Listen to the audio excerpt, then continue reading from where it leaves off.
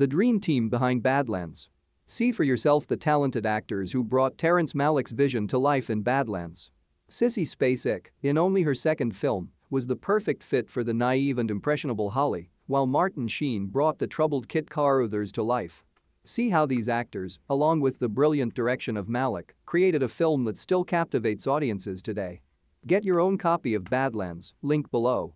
Like, comment, and subscribe.